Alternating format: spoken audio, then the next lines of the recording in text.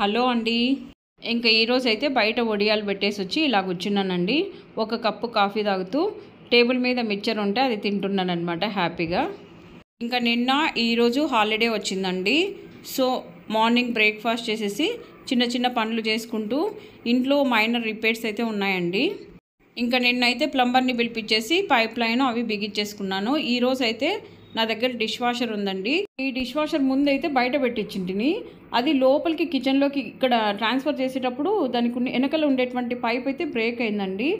ఇంకా dish washer repair చేస్తారు కదా అతనికైతే కాల్ చేశాను అతను వస్తానన్నారు. అతను రిపేర్ చేసి వెళ్ళిన తర్వాత నేను ఈ విధంగా చికెన్ బిర్యానీ తెచ్చుకొని ఆఫ్టర్నూన్ అయితే నా లంచ్ కంప్లీట్ చేసుకున్నానండి. ఎందుకంటే అతను కిచెన్లోనే ఉన్నాడు నాకు వంట చేసుకోవడానికి కుదరలేదనమాట అందుకనే నేను ఇంకా బయట నుంచి తెచ్చుకున్నా. ఇంకా మా హస్బెండ్కి అయితే ఎలక్షన్ డ్యూటీ కోసం తనకి ట్రైనింగ్ ఇస్తున్నారు. ఇంకా తనైతే ట్రైనింగ్ తీసుకోవడం కోసం వేరే ఊరికైతే వెళ్ళారు. ఇంకా తను ఈవినింగ్ వస్తారు కాబట్టి ఈవినింగ్ ఏదైనా చేసుకోవచ్చు అని చెప్పేసి ఈ విధంగా చికెన్ బిర్యానీ తెచ్చుకొని తినేసాను అనమాట చూడండి నేను ఈ విధంగా తింటున్నాను. మా తాడిపత్రి బిర్యానీ సూపర్గా ఉంటుందండి. నేను ఎప్పుడో ఒకసారి ఇలా తెచ్చుకుంటాను కానీ చాలా చాలా టేస్టీగా అయితే ఉంటుంది. ఇంకా అతను డిష్ వాషర్ క్లీన్ చేసి వెళ్ళారు కదా. సో ఆ మోటరు తర్వాత ఆ పైపు అతని యొక్క ఛార్జ్ అంతా కలిపి ఏడు వేలు తీసుకున్నారండి. ఇంకా ఏదైనా వస్తువులను అయితే మనం కొంటాం కానీ దాన్ని సరిగ్గా మెయింటైన్ చేయలేదనుకోండి చాలా ఖర్చు అయితే వస్తుంది. ఆ పైపు బ్రేక్ అయిందని చెప్పేసి దాన్ని వాడడము ఒక రెండు నెలలు పక్కన పెట్టేశాను అంతే. లోపల మోటార్ అంతా స్ట్రక్ అయిందంట. సో ఆ మోటార్కి అతను వచ్చినందుకు సెవెన్ ఫిఫ్టీ రూపీస్ తర్వాత ఆ పైప్స్కి అన్నింటికి కలిపి సెవెన్ థౌజండ్ రూపీస్ ఛార్జ్ చేశారండి. ఇంకా ఇలా ఏదైనా మనం వస్తువులు కొన్న తర్వాత ఖర్చు కూడా చాలానే ఉంటుంది. ఇంకా ఇలా హాలిడే దొరికినప్పుడు వర్క్స్ చేయించుకోకపోతే ఇంకా అవి అలాగనే పెండింగ్ పడతాయండి. ఇంకా ఇది చూడండి డిష్ వాషర్ ఇలా ఉందన్నమాట. ఆ పైప్ బ్రేక్ అయిన దానికి కొత్త పైపుని ఎలా అటాచ్ చేస్తున్నారో చూడండి ఈయన. ఇంకా లోపల మోటార్ స్ట్రక్ అయిందన్నా కదా మోటార్ చూడండి ఇలా పక్కన పెట్టేసి కొత్తది వేశారనమాట దా అందుకోసమని ఎక్కువ చార్జ్ చేశారు.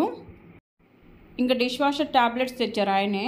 సో ఆయనతో కొనుక్కున్నాను అనమాట ఇంకా మార్నింగ్ అయితే వడియాలు పెట్టానండి. ఆ రిపేర్ అతను వచ్చేక ముందరే చూడండి ఇవి రేషన్ బియ్యము ఒక రెండు గ్లాసులు తీసుకున్నాను. ఈ విధంగా నున్నగా మిక్సీ జార్లో వేసేసుకొని పక్కన పెట్టేసుకున్నాను. ఇంకా మిక్సీ జార్లో నున్నగా ఆడిచ్చానా లేకపోతే బరకగా ఆడిచ్చినానా అది చూపిస్తున్నాను ఇక్కడ మీకు. సో ఈ విధంగా ఆడిచ్చిన దాన్ని చూడండి దీంట్లోకి అయితే ట్రాన్స్ఫర్ చేస్తున్నాను. ఈ విధంగా అంతా గ్రైండ్ చేసేసుకొని ఫస్ట్ అయితే పక్కన పెట్టేసుకుంటున్నా. ఇంకా బియ్యం అయితే ఓవర్ నైట్ నానబెట్టాలండి. నానబెడితేనే మనకి వడియాలు అనేవి చాలా బాగా వస్తాయి అన్నమాట ఫస్ట్ పిండినంతా ఈ విధంగా గ్రైండ్ చేసేసుకొని మనం పక్కన పెట్టేసుకున్నామంటే ఆ తర్వాత స్టవ్ పైన వాటర్ పెట్టేసుకొని బాగా హీట్ అయిన తర్వాత దీన్నంతా పోసేసుకోవాలా? స్టవ్ని ఏమంటే ఎప్పుడు కూడా సిమ్లో పెట్టేసుకోవాలండి. ఇంకా రెండు గ్లాసులు కదా? రెండు గ్లాసుల బియ్యంకి ఇద్దో ఇంత పిండి అయితే అయిందండి రెండు గ్లాసుల బియ్యంకి ఐదు చెమ్ముల నీళ్ళు అయితే సరిపోతాయండి. సో ఇక్కడ బాగా కాగిన నీళ్ళని వేడి నీళ్ళని పక్కకు తీసేసుకుంటున్నా. ఎందుకంటే మనం పిండి వేసిన తర్వాత ఏమన్నా గట్టిగా అనిపిస్తే చల్ల నీళ్ళు అయితే అస్సలు పోయకూడదండి. ఇలాగ హాట్గా ఉండేటువంటి వాటర్ని పక్కకు పెట్టి నింటాం కదా ఆ వాటర్ని అయితే కలుపుకోవచ్చు అనమాట ఇలా బాగా తెరులుతున్న వాటర్లోకి స్టవ్ని ఫస్ట్ సిమ్లో పెట్టేసుకొని ఈ పిండిని అంతా ఉంటలు కట్టుకోకుండా చూడండి ఎలా పోస్తానో. ఈ విధంగా అనమాట నెమ్మదిగా తిప్పుకోవాలా. ఇలా మెల్లగా పోస్తూ నెమ్మదిగా తిప్పుకుంటే అస్సలు ఉంటలు కట్టుకోకుండా వడియాల పిండి అయితే తయారవుతుందండి. ఒకేసారి గబాలన పోసేసినామంటే అంత ఉంటలు ఉంటలు అయిపోతుంది పిండి. చాలా జాగ్రత్తగా పోయాలన్నమాట వడియాల పిండి ఉడికించుకునేకి రాని వాళ్ళు ఈ వీడియోని గిన చూస్తే ఖచ్చితంగా వాళ్ళు ఈజీగా చేసుకోవచ్చండి. ఇలాగనమాట. అంతా పోసేసుకున్న తర్వాత ఉంటలు ఉందా లేదా కూడా చూపిస్తానండి మీకు. గరిటెతో తిప్పుతూ ఉంటలు కట్టిందా లేదా కూడా మీకు చూపిస్తానండి. అస్సలు ఉంటలు ఉండవు అనమాట కొద్దిగా హాట్ వాటర్ పక్కన పెట్టింటి కదా? చూడండి ఇక్కడ పిండిలోకి ఇంకొంచెం కలుపుకోవచ్చు అనమాట అలాగనమాట అలా పోసుకోవడానికి ఆ హాట్ వాటర్ ఫస్ట్ పక్కకు తీసుకునేవి యూజ్ అవుతాయి. ఇదో అస్సలు ఉంటలు లేకోకుండా పిండి చూడండి ఈ విధంగా నీట్గా పోసేసుకున్నాను. ఇలా పోసిన తర్వాత నెమ్మదిగా ఇలా కలుపుతూ ఉండాలన్నమాట. మధ్యలో మూత పెట్టుకుంటూ తర్వాత మూత ఎక్కువసేపు పెట్టినా కూడా పొంగిపోతుందండి. అందుకని నెమ్మదిగా తిప్పుకుంటూ మధ్య మధ్యలో చూసుకుంటూ నాకు అలవాటు అయిపోయింది కాబట్టి మధ్యలో మూత పెట్టేసి చిన్న చిన్న పనులు అయితే చూసుకుంటానండి. అలాగనే కలుపుతూ ఉండమని కాదు. ఫస్ట్లో అంతా ఇలా కలిపేసిన తర్వాత మధ్య మధ్యలో మూత పెట్టేసుకొని కొద్దిసేపు ఉడికిస్తే సరిపోతుంది. ఇదండి పిండి చూడండి. ఇలాగ చిక్కగా అవుతా ఉంది చూడండి. ఇలాగనమాట. కొద్దిసేపు అలా మూత పెట్టేసి మళ్ళీ మూత తీసి చూసే లోపల చూడండి ఇలా ఉడుకుతోంది. అలా లోపలే ఉడుకుతుందనమాట చిన్నగా మూత పెట్టేసుకొని చేసుకుంటే. ఇంకా వడియాలు కారంగా ఉండడం కోసం ఒట్టిమిరపకాయల సీడ్స్ ఉంటాయి కదండి అవేను జీలకర్ర వేస్తున్నాను. ఇంకా ఉప్పు కూడా తగినంత చూసుకొని వేసుకోవాలండి. ఎక్కువ ఉప్పు వేసినా కూడా చాలా ఉప్పు కనిపిస్తాయి. అనిపిస్తాయి చూడండి ఈ విధంగా. కారం వద్దనుకునేటువంటి వాళ్ళు దీన్ని స్కిప్ చేయొచ్చు. నాకు ఇలా కారంగా ఉంటేనే బాగుంటాయి అన్నమాట అందుకనే ఇలాగ ఒట్టిమిరపకాయ ఇత్తనాలు కూడా వేశాను. ఇంకా ఇవి ఎలా దొరుకుతాయంటే ఒట్టిమిరపకాయలన్నీ ఒలిచేసుకుంటాం కదండి. అలాంటి టైంలో పక్కకి వచ్చేసింటాయి. వాటిని అన్నింటినీ ఒక సీసాలో అయితే నేను స్టోర్ చేసుకుని తింటాను. ఇలా వడియాలు వేసినప్పుడు దానిలో కూడా వేస్తుంటాను. ఇంకా మేడపైకి ఎక్కకోకుండా చూడండి మంచం అయితే ఎలా వేసుకున్నానో. ఇంటి ముందర డోర్ ముందరే వేసేసుకొని పంచి ఒకటైతే పరుస్తున్నాను ఇక్కడ. ఇక్కడ కూడా ఎండ వస్తుందండి. ఇంకా కొద్దిగా టైం ఎక్కువైందని చెప్పేసి ఇంకా పై పైన అయితే మరీ ఎండగా ఉంటుంది కదా అందుకనే ఇంక ఇక్కడ పెట్టేసి అవే ఆరిపోతాయి అన్నమాట చాలా వేడిగా ఉంది తాడిపత్రిలో. అందుకనే అవే ఆరుతాయని చెప్పేసి ఇలా వేస్తున్నాను. పంచని ఇలా పరుచుకొని తర్వాత వడియాల పిండి అంతా తీసుకొని వచ్చేసి ఇంకా నెమ్మదిగా పెట్టేసుకుంటాను వడియాలన్నీ. ఇంకా ఇప్పటికైతే నాలుగోసారేమో వడియాలు వేస్తున్నాను నేను. అన్ని డబ్బాల్లో అయితే స్టోర్ చేసి పెట్టుకుంటున్నానండి.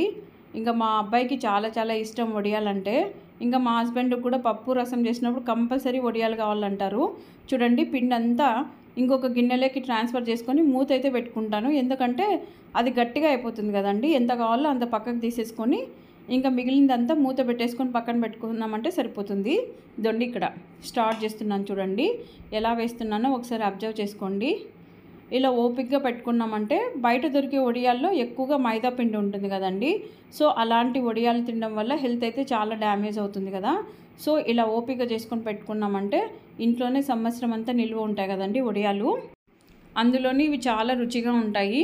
నేను ఒకసారి నార్మల్ పెడతాను ఒకసారి జీలకర్ర వడియాలు పెడతాను. ఇలాగ కారంగా కావాలనుకుంటే ఇలా ఒట్టిమిరపకాయల్లో ఉండేటువంటి ఇత్తనాలు వేసి ఇలాగనమాట.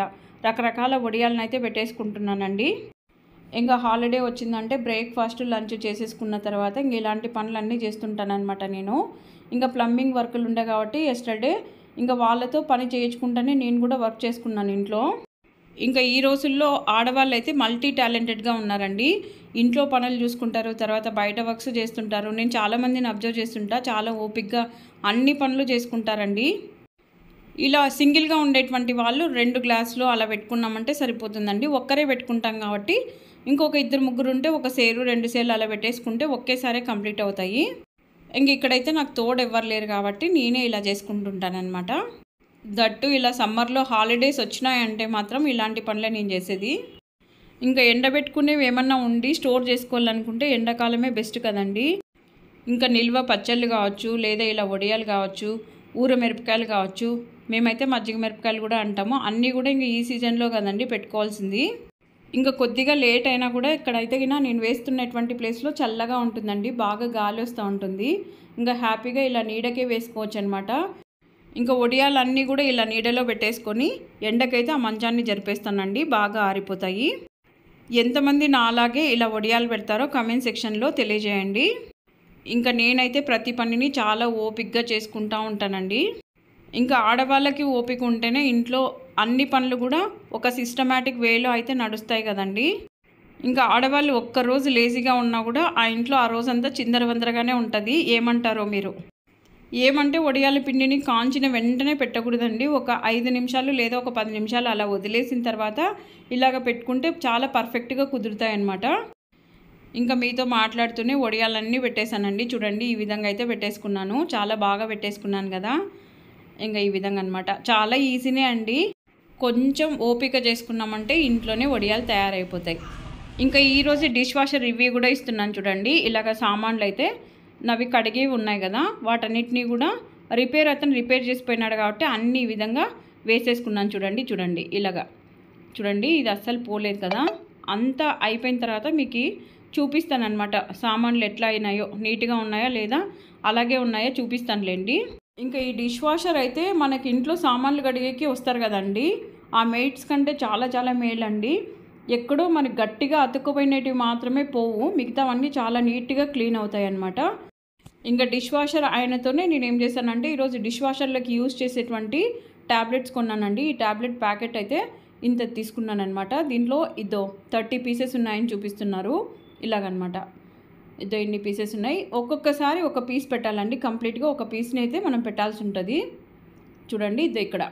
ఇక్కడ పెట్టాల్సి ఉంటుంది. సో అంత వేసాను చూడండి. వేసిన తర్వాత ఇలా క్లోజ్ చేసుకోవాలా. ఇలా క్లోజ్ చేసేసి మొత్తం డోర్ని అయితే క్లోజ్ చేసిన తర్వాత చూపిస్తా చూడండి ఎలా ఆన్ చేయాలో. నాది ఐఎఫ్బి అనమాట ఐఎఫ్బి కంపెనీది. ఇదండి. ఇలాగ స్టార్ట్ చేసుకోవాలి. ఇక్కడ స్టార్ట్ బటన్ అయితే ఇక్కడ ఉంది ఇక్కడ ఆన్ చేసేసుకొని దో ఇలాగా. ఆన్ చేసుకున్న తర్వాత ప్రోగ్రామింగ్కి వెళ్ళాలన్నమాట. నేనైతే డైలీలో పెట్టుకుంటున్నా. ఎవ్రీడే క్లీన్ చేసేవి కాబట్టి డైలీలో పెట్టేసుకుంటున్నాను. మనకి టైమింగ్ అయితే ఒక గంట ముప్పై నాలుగు నిమిషాలు చూపిస్తుంది. చాలా నీట్గా క్లీన్ అవుతుందండి. ఇలాగనమాట ఆన్ చేసుకున్న తర్వాత ఇంకా సామాన్లన్నీ క్లీన్ అయిన తర్వాత ఎలా ఉందో చూపిస్తాలేండి ఇదండి డిష్ వాషర్ దగ్గర ఇక్కడ జీరో అని చూపిస్తుంది కదా అంటే కంప్లీట్ అయిపోయినట్టు. ఇంకా స్విచ్ ఆఫ్ చేసేసి ఇంకా ఓపెన్ చేసి ఎలా ఉన్నాయో మీకు సామాన్లు అయితే చూపిస్తా చూడండి. వెంటనే ఓపెన్ చేయకూడదండి. కొద్దిసేపు అలా వదిలేసిన తర్వాతనే ఇది నేను ఓపెన్ చేస్తున్నది. ఇంకా డిష్ వాషర్ ట్యాబ్లెట్ పెట్టాను కదా ఇందులో చూడండి కంప్లీట్గా అయిపోయింది. ఇలాగనమాట.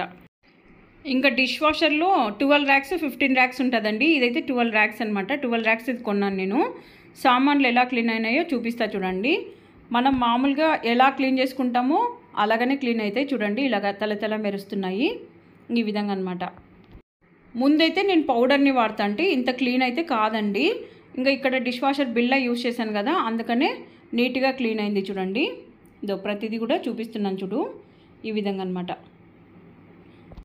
ఇక్కడ బాగా అతుక్కునేది పెట్టినాను చూడండి ఇదో. ఇలాగ అతుక్కునేది మనం పెట్టినామంటే అసలు పోయినండదు మిగతావన్నీ చూడండి ఇద్దో ఎలా క్లీన్ అయింటాయో ఇలాగనమాట చాలా బాగా ఇంకా ఆ పనుల్లో వచ్చి క్లీన్ చేసేదానికంటే చాలా నీట్గానే చేస్తుందండి. అందుకనే నేను ఇదైతే కొన్నాను. ఇంకా ఈ వీడియో మీకు చాలా యూస్ఫుల్ అని అనుకుంటున్నా. యూస్ఫుల్ అయితే మీ ఫ్రెండ్స్కి ఫ్యామిలీ మెంబర్స్కి ఖచ్చితంగా షేర్ చేయండి. నా ఛానల్ నచ్చినట్లయితే లైక్ చేయండి షేర్ చేయండి సబ్స్క్రైబ్ చేసుకోండి.